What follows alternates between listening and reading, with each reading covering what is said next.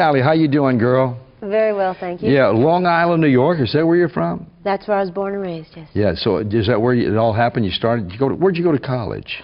Uh, in Lancaster, Pennsylvania. Did you study anthropology? I did. That's the study of human beings. Pretty much. Well, then you, you get a lot of people study on that road, don't you? Yep. musicians I'm, are. I was prepared for the road, yeah. I mean, musicians are really people that you have to study on. Yes. But you write too, don't you, Shannon? Yeah, I'm a songwriter. You write most of your material? I would say 75% of it. I do. I, I, like to interpret songs as well. You know, Shannon, I remember back in the day you had an al- album out on Capitol Records. That was pretty cool. Yeah, I did. I did a couple records with Capitol. With Capitol? Mhm. What happened? Did it, you, left Capitol? I left Capitol. Um, well, you, the music industry just changed, and uh, and uh, they had one notion for me, and I had another. And So uh, you split it. mhm, yeah. Yeah, but what label are you on now? Well, I have my own label now. Oh, you do? Mm-hmm. What's the name of it? It's called Sacred Sumac Records. I'm sorry? It's called Sacred Sumac. What does that sumac. mean? Well, sumac is a is a plant, Oh, and okay. it was a the Native Americans used it for most throat illnesses. They made tea out I need some of that. Yeah. Sh- Shannon, you must stay real busy because really seriously, you're up and down that road, aren't you? yes, sir. Yeah, we stay out there a lot. And uh, how did you wind up in Mississippi?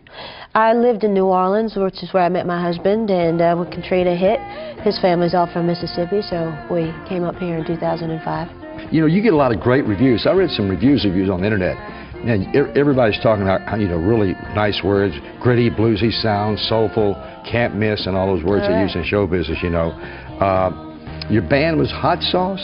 That was one incarnation, yeah. Uh, some fellas uh, out of uh, Oxford, Mississippi.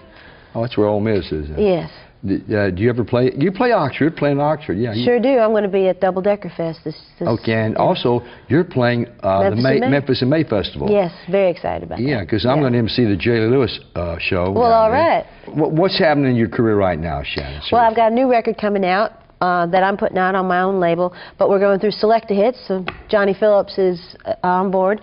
Um, it's a record of all Bobby Charles songs, great late. Bobby Charles, that's my man. Yes, Bobby right. Gu- Bobby Guidry is his real name. Yes, Robert Charles Guidry. Yeah, he used to uh, down in Louisiana. What was it, Lafayette?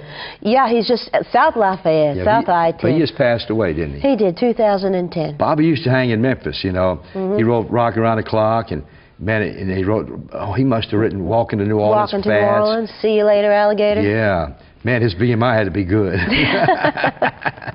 but he was a good guy. He was, yeah. He had a real, uh, real conscience. And, And Dr. John too.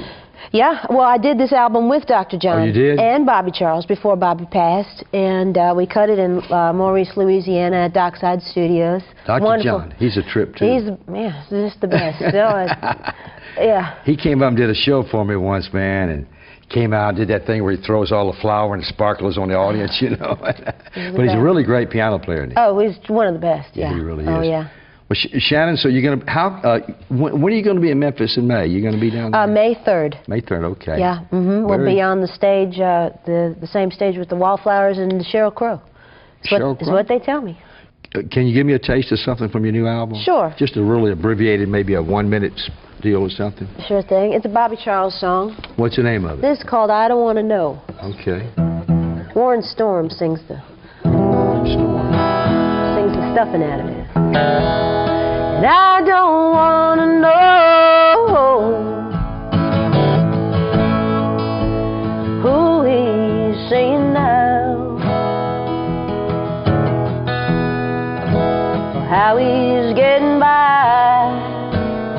I might start to cry.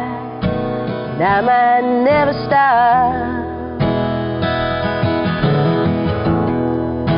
So please don't say a word. What do you might? Don't even say his name. Cause I don't wanna hear. It might bring a tear. And don't need the pain. So please don't make me go. You know, Shannon. Uh, sorry to interrupt you, but you got to run. right. But but you know, I don't, it's um, I don't see how you were born in New York because you got too much soul, girl.